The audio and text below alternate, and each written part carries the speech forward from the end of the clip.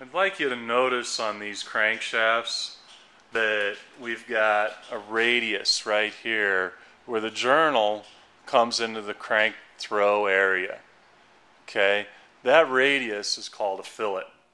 And not all crankshafts are going to be set up with a fillet like that, but a lot of times if you've got two rods riding on a common journal, that fillet's going to be in place.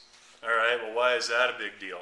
That's a big deal because a lot of times you're going to find a connecting rod assembly like this, all right, that has chamfers around the diameter of the rod's big end.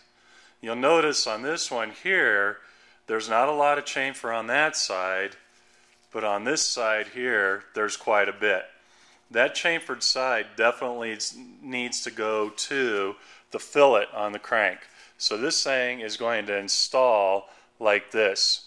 If you were to install it backwards, what's going to happen is, is that the rod and the bearing are going to be uh, wearing against the fillet. And if that occurs, um, you're going to damage this side on the fillet and you're going to damage the crank.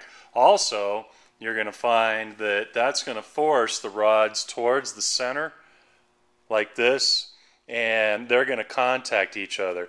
You should have some clearance on the rods, and if that clearance is being taken up by rod contact to the fillet, you'll have no clearance there.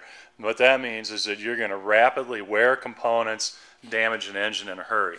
Now, it doesn't matter if it's a rod like this or a rod like this. This rod has the same thing. You see right here, not a whole lot of radius. On this side, quite a bit of radius.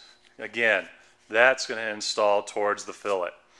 Once you have the rods on the pin, do make sure that everything is free and that you do have some clearance between the rods. That rod clearance will be specified by a manufacturer, but generally you want to see somewhere between 15 and 25 thousandths of an inch in clearance between the rods. Something else to check.